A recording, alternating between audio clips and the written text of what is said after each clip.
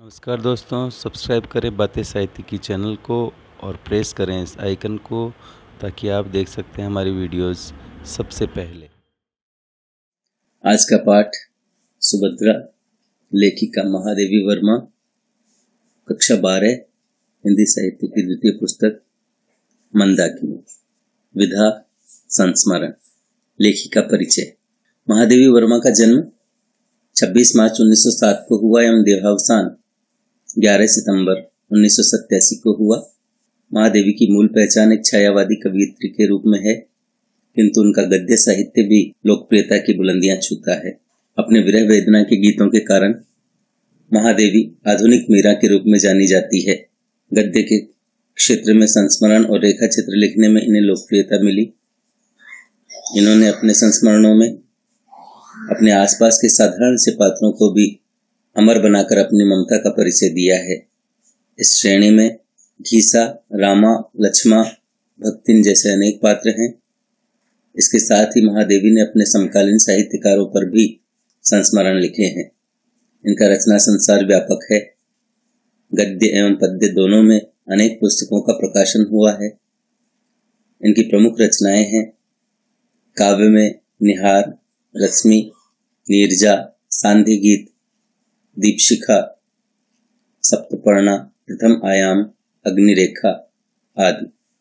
गद्य में सर्वप्रथम रेखा चित्र अतीत के चलचित्र और स्मृति की रेखाएँ आदि।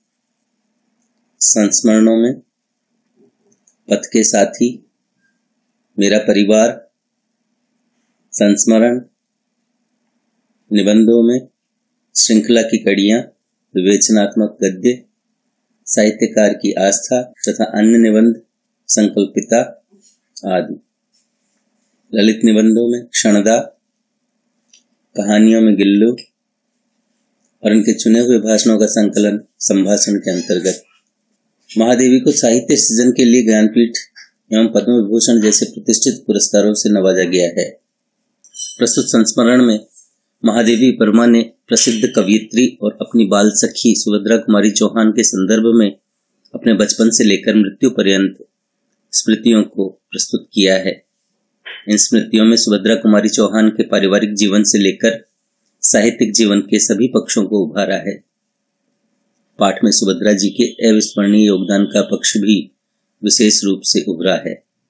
मूल पाठ हमारे शैशवकालीन अतीत और प्रत्यक्ष वर्तमान के बीच में समय प्रवाह का पाठ जो जो चौड़ा होता जाता है त्यों त्यों हमारी स्मृति में अनजाने ही एक परिवर्तन लक्षित होने लगता है। शैशव की चित्रशाला के जिन चित्रों से हमारा रागात्मक संबंध गहरा होता है, उनकी रेखाएँ और रंग इतने स्पष्ट और चटकीले होते चलते हैं कि हम वार्धव्य की धुंधली आँखों से भी उन्हें प्रत्यक्ष देखते रह सकते हैं। पर जिनसे ऐसा संबंध नहीं होता है, वे फीके होते होते इस प्रकार स्मृति से धुल जाते हैं कि दूसरों के स्मरण दिलाने पर भी उनका स्मरण कठिन हो जाता है। मेरे अतीत की चित्रशाला में बहन सुभद्रा से मेरे सख्य का चित्र पहली कोठी में रखा जा सकता है, क्योंकि इतने वर्षों के उपरांत भी उसकी सब रंग रेखाएँ अपनी सजीवता में स्पष्ट हैं। एक सातवीं कक्षा की विद्यार्थिनी, एक पांचवी कक्षा की विद्यार्थिनी से प्रश्न करती है, क्या तुम कविता लिखती हो? दूसरे ने सिर हिलाकर ऐसी अस्वीकृति दी, जिसमें हाँ और नहीं तरल होकर एक हो गए थे। प्रश्न करने वाली ने इस स्वीकृति, अस्वीकृति की संधि से खींच कर कहा, तुम्हारी क्लास की लड़कियाँ तो कहती हैं कि तुम गणित की कॉपी तक में कविता लिखती हो। दिखाओ अपनी कॉपी और उत्तर की प्रतीक्षा में समय नष्ट न कर वह कविता लिखने की अपराधिनी को हाथ पकड़कर खींचती हुई उसके कमरे में डेस्क के पास ले गई। नित्य व्यवहार में आने वाली गणित की कॉपी को छिपाना संभव नहीं था। अतः उसके साथ अंकों के बीच में अनधिकार सिकुड़ कर बैठी हुई तुकबंदियाँ अनायास पकड़ में आ गई। इतना दंड ही पर्याप्त था, पर इससे संतुष्ट न होकर अपराध की अन्वेषिका ने एक हाथ में चित्र विचित्र कॉपी थामी और दूसरे में अभियुक्ता की उंगलियाँ कसकर पकड़ी और वह हर कमरे में जा जाकर इस अपराध की सार्वजनिक घोषणा करने लगी। उस युग में कविता रचना अपराधों की सूची में थी। कोई तुक जोड़ता है, यह सुनकर ही सुनने वाले के मुख की रेखाएँ इस प्रकार वक्र कुंचित हो जाती थी, मानो उन्हें कोई कटुतिक्त पेय पीना पड़ा हो। ऐसी स्थिति में गणित जैसे गंभीर महत्वपूर्ण विषय के लिए निश्चित पृष्ठों पर तुक जोड़ना अक्षम्य अपराध था। इससे बढ़कर कागज़ का दुरुपयोग और विषय का निरादर और हो ही कह सकता था? फिर जिस विद्यार्थी की बुद्धि अंकों के बीहड़ वन में पग पग उलझती है, उससे तो गुरु यही आशा रखता है कि वह हर सांस को अंक जोड़ने, घटाने की क्रिया बना रहा होगा। यदि वह सारी धरती को कागज़ बनाकर प्रश्नों को हल करने के प्रयास से नहीं भर सकता तो उसे कम से कम 150 पृष्ठ सही, न सही तो गलत प्रश्न उत्तरों से भर लेना चाहिए। तब उसकी भ्रांत बुद्धि को प्रकृति दत्त मानकर उसे क्षमा दान का पात्र समझा जा सकता है। पर जो तुकबंदी जैसे कार्य से बुद्धि की धार गोठिल कर रहा है, वह तो पूरी शक्ति से दुर्बल होने की मूर्खता करता है, अतः उसके लिए न सहानुभूति का प्रश्न उठता है, न क्षमा का। मैंने होठ भींच कर न रोने का जो निश्चय किया, वह न टूटा तो न टूटा। अंत में मुझे शक्ति परीक्षा में उत्तीर्ण देख सुभद्रा जी ने उत्फुल्ल भाव से कहा अच्छा तो लिखती हो। भला सवाल हल करने में एक दो तीन जोड़ लेना कोई बड़ा काम है? मेरी चोट अभी दुख रही थी। परंतु उनकी सहानुभूति और आत्मीय भाव का परिचय पाकर आँखें सजल हो आई। तुमने सबसे क्यों बताया? का हास उत्तर मिला, हमें भी तो यह सहना पड़ता है। अच्छा हुआ, अब दो साथी हो गए। वहीं सुभद्रा का चित्र बनाना कुछ सहज नहीं है, क्योंकि चित्र की साधारण जान पड़ने वाली प्रत्येक रेखा के लिए उनकी भावना की दीप्ति संचारिणी दीप शिखेव बनकर उसे असाधारण कर देती है। एक एक करके देखने से कुछ भी विशेष नहीं कहा जाएगा, परंतु सबकी समग्रता में जो उद्भासित होता था, उसी दृष्टि से अधिक हृदय ग्रहण करता था। मंझोले कद तथा उस समय की कृष्ण देह यष्टि में ऐसा कुछ उग्र या रौद्र नहीं था, जिसकी हम वीर गीतों की कवियत्री में कल्पना करते हैं। कुछ गोलमुख, चौड़ा माथा, सरल भ्रिकुटियाँ, बड़ी और भावस्नात आँखें, छोटी सुडोल नासिका हँसी को जमाकर गढ़े हुए से होठ और दृढ़ता सूचक ठुड्डी सब कुछ मिलाकर एक अत्यंत निश्चल, कोमल, उदार व्यक्तित्व वाली भारतीय नारी का ही पता देते थे। पर उस व्यक्तित्व के भीतर जो बिजली का छंद था, उसका पता तो तब मिलता था जब उनके और उनके निश्चित लक्ष्य के भीतर में कोई बाधा आ उपस्थित होती थी। मैंने हंसना सीखा है, मैं नहीं जानती रोना, कहने वाली की हँसी निश्चय ही असाधारण थी। माता की गोद में दूध पीता बालक जब अचानक हंस पड़ता है, तब उसकी दूध से धुली हँसी में जैसी निश्चिंत तृप्ति और सरल विश्वास रहता है, बहुत कुछ वैसा ही भाव सुभद्रा जी की हँसी में मिलता था। वह संक्रामक भी कम नहीं थी, क्योंकि दूसरे भी उनके सामने बात करने से अधिक हंसने को महत्व देने लगते थे। वे अपने बचपन की एक घटना सुनाती थी। कृष्ण और गोपियों कथा सुनकर एक दिन बालिका सुभद्रा ने निश्चय किया कि वह गोपी बनकर ग्वालों के साथ कृष्ण को ढूँढने जाएँगी। दूसरे दिन वे लकुटी लेकर गायों और ग्वालों के झुंड के साथ कीकर और बबूल से भरे जंगल में पहुँच गई।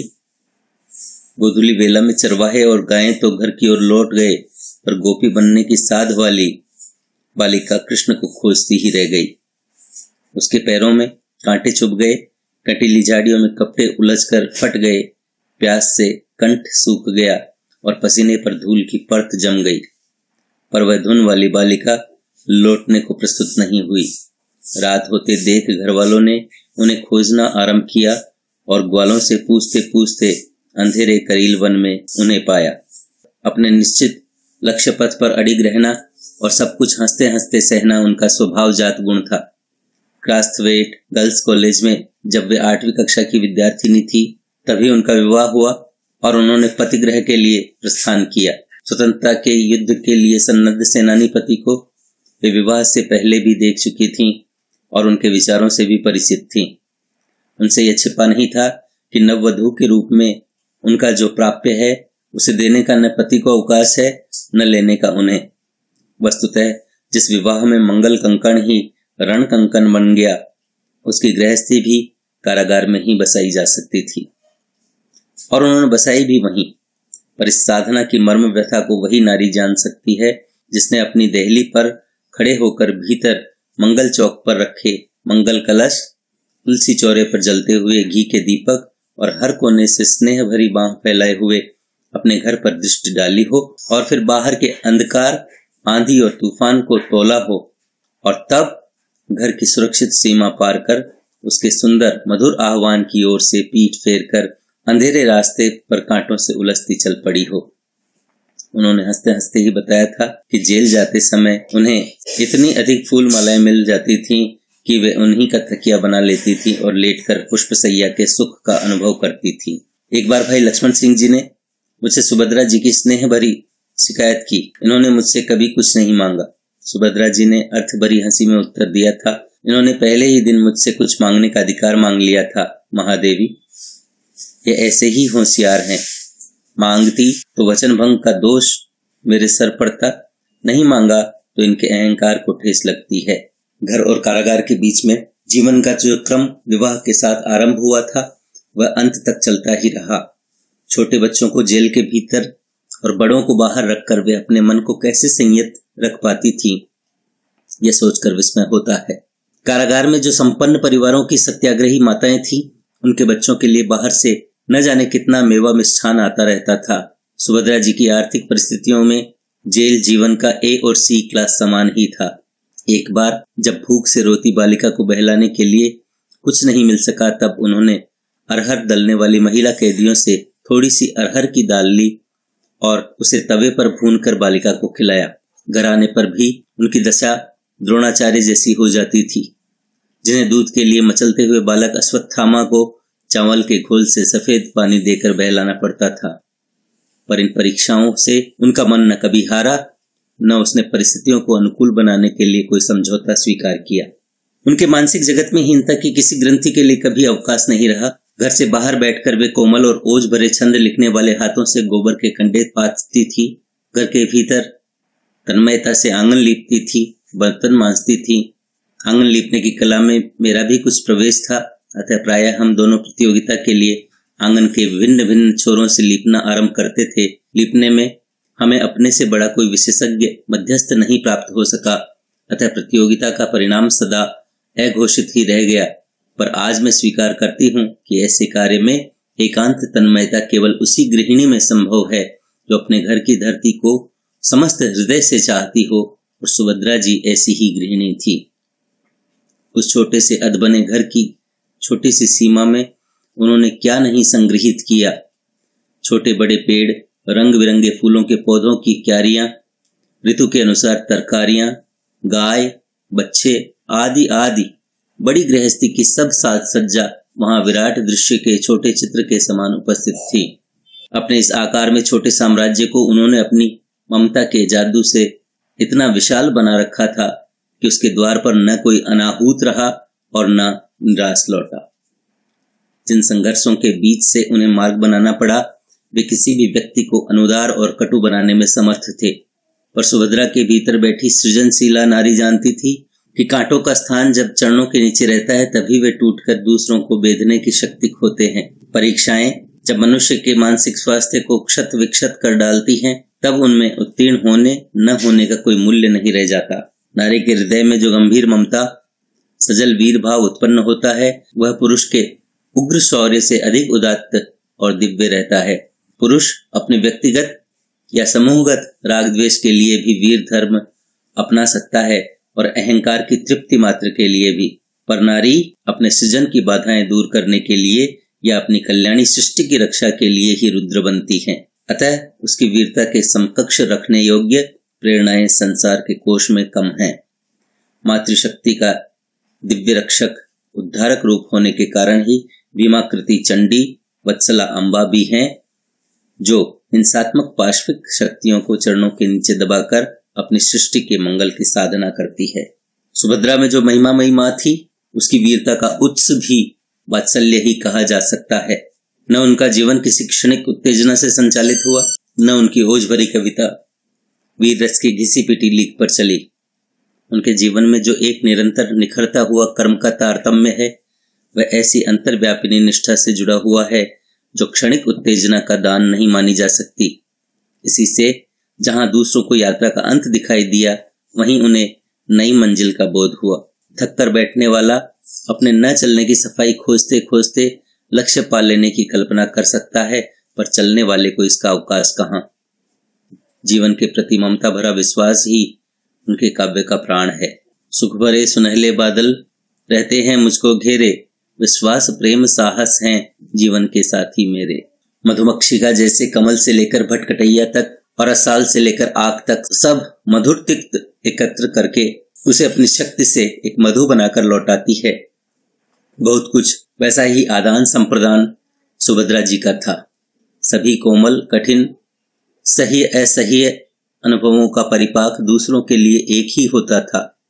इसका यह तात्पर्य नहीं है कि उनमें विवेचन की तीक्ष्ण दृष्टि का अभाव था।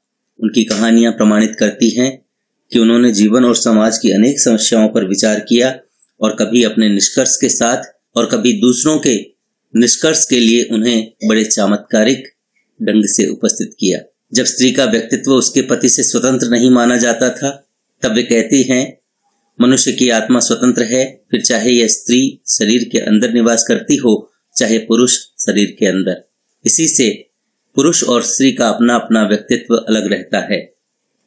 जब समाज और परिवार की सत्ता के विरुद्ध कुछ कहना अधर्म माना जाता था, तब वे कहती है, समाज और परिवार व्यक्ति को बंधन में बाँध कर रखते हैं। ये बंधन देश कालानुसार बदलते रहते हैं और उन्हें बदलते रहना चाहिए, वरना वे व्यक्तित्व के विकास में सहायता करने के बदले बाधा पहुँचाने लगते हैं। बंधन कितने ही अच्छे उद्देश्य से क्यों न नियत किए गए हों, हैं बंधन ही, और जहाँ बंधन है, वहाँ असंतोष है तथा क्रांति है। परंपरा का पालन ही, जब स्त्री का परम कर्तव्य समझा जाता था, तब वे उसे तोड़ने की भूमिका बांधती हैं। चिर प्रचलित रूढ़ियों और चिर संचित विश्वासों को आघात पहुँचाने वाली हलचलों को हम देखना सुनना नहीं चाहते। हम ऐसी हलचलों को अधर्म समझकर उनके प्रति आँख मीच लेना उचित समझते हैं, किंतु ऐसा करने से काम नहीं चलता। यह हलचल और क्रांति हमें बरबस झकझोरती है और बिना होश में लाए नहीं छोड़ती। अनेक समस्याओं की ओर उनकी दृष्टि इतनी पहनी है कि सहज भाव से कहीं सरल कहानी का अंत भी हमें झकझोर डालता है। वे राजनीतिक जीवन में ही विद्रोहिणी नहीं रही अपने पारिवारिक जीवन में भी उन्होंने अपने विद्रोह को सफलतापूर्वक उतारकर उसे सृजन का रूप दिया था। सुभद्रा जी के अध्ययन का क्रम असमय ही भंग हो जाने के कारण उन्हें विश्वविद्यालय की शिक्षा तो नहीं मिल सकी, पर अनुभव की पुस्तक से उन्होंने जो सीखा, उसे उनकी प्रतिभा ने सर्वत्र निजी विशेषता दे दी है। भाषा भावछंद की दृष्टि से नए, झांसी की रानी जैसे वीर गीत तथा सरल स्पष्टता में मधुर, प्रगीत मुक्त यथार्थवादिनी, मार्मिक कहानियाँ आदि उनकी मौलिक प्रतिभा के ही सृजन है। ऐसी प्रतिभा व्यवहारिक जीवन को अछूता छोड़ देती तो आश्चर्य की बात होती। पत्नी की अनुगामिनी, अर्धांगिनी आदि विशेषताओं को अस्वीकार कर उन्होंने भाई लक्ष्मण सिंह जी को पत्नी के रूप में ऐसा अभिन्न मित्र दिया जिसकी बुद्धि और शक्ति पर निर्भर रहकर अनुगमन किया जा सके। अजगर की कुंडली के समान स्त्री के व्यक्तित्व को कस कर चूर चूर कर देने वाले अनेक सामाजिक बंधनों को तोड़ फेंकने में उनका जो प्रयास लगा होगा, उसका मूल्यांकन आज संभव नहीं है। उस समय बच्चों के लालन पालन में मनोविज्ञान को इतना महत्वपूर्ण स्थान नहीं मिला था और प्राय सभी माता पिता बच्चों को शिष्टता सिखाने में स्वयं अशिष्टता की सीमा तक पहुँच जाते थे। सुभद्रा जी का कवि हृदय यह विधान कैसे स्वीकार कर सकता था? अतः उनके बच्चों को विकास का जो मुक्त वातावरण मिला उसे देखकर सब समझदार, निराशा से सिर हिलाने लगे। पर जिस प्रकार यह सत्य है कि सुभद्रा जी ने अपने किसी बच्चे को उसकी इच्छा के विरुद्ध कुछ करने के लिए बाध्य नहीं किया, उसी प्रकार यह भी सत्य है कि किसी बच्चे ने ऐसा कोई कार्य नहीं किया, जिससे उसकी महीय सीमा को किंचित भी क्षुब्ध होने का कारण मिला हो। उनके वात्सल्य का विधान ही अलिखित और अटूट था। अपनी संतान के भविष्य को सुखमय बनाने के लिए उनके निकट कोई भी त्याग अकरणीय नहीं रहा। पुत्री के विवाह के विषय में तो उन्हें अपने परिवार से भी संघर्ष करना पड़ा। उन्होंने एक क्षण के लिए भी इस असत्य को स्वीकार नहीं किया कि जातिवाद की संकीर्ण तुला पर ही वर की योग्यता तोली जा सकती है। इतना ही नहीं, जिस कन्यादान की प्रथा का सब मुख भाव से पालन करते आ रहे थे, उसी के विरुद्ध उन्होंने घोषणा की, मैं कन्यादान नहीं करूँगी। क्या मनुष्य मनुष्य को दान करने का अधिकारी है। क्या विवाह के उपरांत मेरी बेटी मेरी नहीं रहेगी? उस समय तक किसी ने, और विशेषतः किसी स्त्री ने, ऐसी विचित्र और परंपरा विरुद्ध बात नहीं कही थी। देश की जिस स्वतंत्रता के लिए उन्होंने जीवन के वासंती सपने अंगारों पर रख दिए थे, उसकी प्राप्ति के उपरांत भी जब उन्हें सब और अभाव और पीड़ा दिखाई दी, तब उन्होंने अपने संघर्षकालीन साथियों से भी विद्रोह किया। उनकी उग्रता का अंतिम परिचय तो विश्ववद्य बापू की अस्थि विसर्जन के दिन प्राप्त हुआ। वे कई सौ हरिजन महिलाओं के जुलूस के साथ सात मील पैदल चलकर नर्मदा किनारे पहुँची। पर अन्य संपन्न परिवारों की सदस्याएँ मोटरों पर ही जा सकी। जब अस्थि प्रवाह के उपरांत संयोजित सभा के घेरे में इन पैदल आने वालों को स्थान नहीं दिया गया, तब सुभद्रा जी का क्षुब्ध हो जाना स्वाभाविक ही था। उनका क्षात्र धर्म तो किसी प्रकार के अन्याय के प्रति क्षमाशील हो नहीं सकता था। जब उन हरिजनों को उनका प्राप्य दिला सकी, तभी वे स्वयं सभा में सम्मिलित हुई। सातवीं और पांचवी कक्षा की विद्यार्थिनियों के सख्य को सुभद्रा जी के सरल स्नेह ने ऐसी अमिट लक्ष्मण रेखा से घेर कर सुरक्षित रखा कि समय उस पर कोई रेखा नहीं खींच सका। अपने भाई बहनों में सबसे बड़ी होने के कारण मैं अनायास ही सबकी देखरेख और चिंता की अधिकारिणी बन गई थी। परिवार में जो मुझसे बड़े थे, उन्होंने भी मुझे ब्रह्म सूत्र की मोटी पोथी में आँख गड़ाए देखकर अपनी चिंता की परिधि से बाहर समझ लिया था। पर केवल सुभद्रा पर न मेरी मोटी पोथियों का प्रभाव पड़ा, न मेरी समझदारी का। अपने व्यक्तिगत संबंधों में हम कभी कुतूहली बाल भाव से मुक्त नहीं हो सके। सुभद्रा के मेरे घर आने पर भक्तिन तक मुझ पर रौब जमाने लगती थी।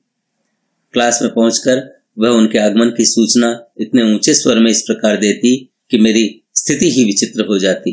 तू सहोदरा विचरिय तो इनका देखे बरे आई के अकेले सुने घर में बैठी है। और इनका किताबियन से फुर्सत नहीं बा एम ए बी ए के विद्यार्थियों के सामने जब एक देहाती बुढ़िया गुरु पर कर्तव्य उल्लंघन का ऐसा आरोप लगाने लगे तो बेचारे गुरु की सारी प्रतिष्ठा किरकिरी हो सकती थी। पर इस अनाचार को रोकने का कोई उपाय नहीं था। सुभद्रा जी के सामने न भक्तिन को डांटना संभव था, न उसके कथन की उपेक्षा करना। बंगले में आकर देखती कि सुभद्रा जी रसोई घर में या बरामदे में भानुमति का पिटारा खोले बैठी हैं और उसमें से अद्भुत वस्तुएँ निकाल रही हैं।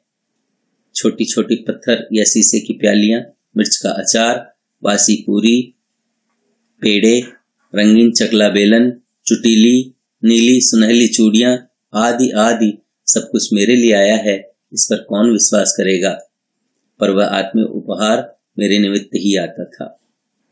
ऐसे भी अवसर आ जाते थे, जब वे किसी कवि सम्मेलन में आते जाते प्रयाग उतर नहीं पाती थी, और मुझे स्टेशन जाकर ही उनसे मिलना पड़ता था। ऐसे कुछ क्षणों की भेंट में भी एक दृश्य की अनेक आवृत्तियाँ होती ही रहती थी। वे अपने थैले से दो चमकीली चूड़ियाँ निकालकर हंसती हुई पूछती, पसंद है? मैंने दो तुम्हारे लिए दो अपने लिए खरीदी थी। तुम पहनने में तोड़ डालोगी। लाओ अपना हाथ, मैं पहना देती हूँ। पहन लेने पर वे बच्चों के समान प्रसन्न हो उठती। हम दोनों जब साथ रहती थी, तब बात में एक मिनट और हँसी में पाँच मिनट का अनुपात रहता था। इसी से प्रायः किसी सभा समिति में जाने के पहले न हंसने का निश्चय करना पड़ता था। एक दूसरे की ओर बिना देखे गंभीर भाव से बैठे रहने की प्रतिज्ञा करके भी वहाँ पहुँचते ही एक न एक वस्तु या दृश्य सुभद्रा के कुतूहली मन को आकर्षित कर लेता और मुझे दिखाने के लिए वे चिकोटी तक काटने से नहीं चूकती। तब हमारी शोभा सदस्यता की जो स्थिति हो जाती थी, उसका अनुमान सहज है। अनेक कवि सम्मेलनों में हमने साथ भाग लिया था, पर जिस दिन मैंने अपने न जाने का निश्चय और उसका औचित्य उन्हें बता दिया, उस दिन से अंत तक कभी उन्होंने मेरे निश्चय के विरुद्ध कोई आग्रह नहीं किया। आर्थिक स्थितियाँ उन्हें ऐसे निमंत्रण स्वीकार करने के लिए विवश कर देती थीं, परंतु मेरा प्रश्न उठते ही वे कह देती थीं, मैं तो व्यवस्था से जाती हूँ पर महादेवी नहीं जाएगी नहीं जाएगी। साहित्य जगत में आज जिस सीमा तक व्यक्तिगत स्पर्धा ईर्ष्या द्वेष है उस सीमा में तब नहीं था यह सत्य है। पर एक दूसरे के साहित्य चरित्र स्वभाव संबंधी निंदा पुराण तो सब युगों में नानी की कथा के समान लोकप्रियता पा लेता है। अपने किसी भी परिचित, अपरिचित साहित्य साथी की त्रुटियों के प्रति सहिष्णु रहना और उसके गुणों के मूल्यांकन में उदारता से काम लेना सुभद्रा जी की निजी विशेषता थी। अपने को बड़ा बनाने के लिए दूसरों को छोटा प्रमाणित करने की दुर्बलता उनमें असंभव थी। वसंत पंचमी को पुष्पा भरना, आलोक वसना धरती की छवि आँखों में भरकर सुभद्रा ने विदा ली। उनके लिए किसी अन्य विदा की कल्पना ही कठिन थी। एक बार बात करते करते मृत्यु की चर्चा चल पड़ी थी। मैंने कहा, मुझे तो उस लहर की सी मृत्यु चाहिए, जो तट पर दूर तक आकर चुपचाप समुद्र में लौटकर समुद्र बन जाती है। सुभद्रा बोली, मेरे मन में तो मरने के बाद भी धरती छोड़ने की कल्पना नहीं है। मैं चाहती हूँ मेरी एक समाधि हो, जिसके चारों ओर नित्य मेला लगता रहे। बच्चे खेलते रहे, स्त्रियाँ गाती रहें और कोलाहल होता रहे। अब बताओ, तुम्हारी नाम धाम रहित लहर से यह आनंद अच्छा है या नहीं? उस दिन जब उनके पार्थिव अवशेष को त्रिवेणी ने अपने श्यामल उज्जवल अंचल में समेट लिया, तब नीलम फलक पर श्वेत चंदन से बने उस चित्र की रेखाओं में बहुत वर्षों पहले देखा, एक किशोर मुख मुस्कुराता जान पड़ा। यहीं कहीं पर बिखर गई वह छिन्न विजय माला सी। आइए दोस्तों, इस पाठ के कुछ महत्वपूर्ण प्रश्नोत्तरों की चर्चा कर लेते हैं। महादेवी के बचपन में कविता रचना माना जाता था। उत्तर, अपराध। प्रश्न दो, जहाँ बंधन है, वहाँ? उत्तर, असंतोष और क्रांति है। अगला प्रश्न, सुभद्रा ने अंतिम विदा किस दिन ली? उत्तर, वसंत पंचमी को। अगला प्रश्न दोनों बाल सखियाँ इन कक्षाओं में पढ़ती थी। उत्तर, महादेवी वर्मा कक्षा पाँच में और सुभद्रा कुमारी चौहान कक्षा सात में पढ़ती थी। अगला प्रश्न, सुभद्रा के पति का क्या नाम था? उत्तर, लक्ष्मण सिंह। अगला प्रश्न, नारी रुद्र कब बनती है? उत्तर अपने विकास कार्य में बाधा आने पर अथवा अपने परिवार पर संकट आने पर।